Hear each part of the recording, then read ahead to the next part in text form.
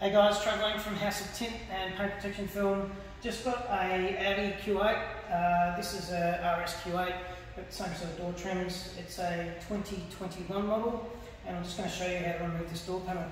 Um, sometimes they're either carbon fibre or they're um, plastic. Doesn't really matter. They're all the same, but don't don't lever it in from behind this silver part here. It is separate. So just get a plastic tool in here and just sort of run it in and just try and separate it. And then you can sort of come back and just wiggle a tool in there.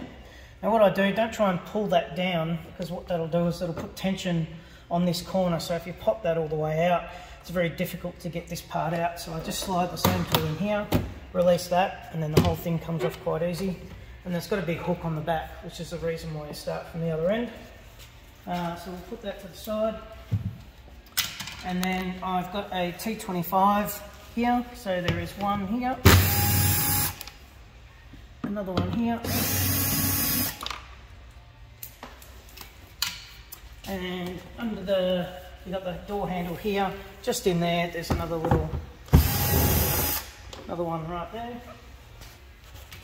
Once you have taken those screws out, nothing to remove here, so I just again get a removal tool, pop it in there, come across to the other side, release that, pop it up both sides,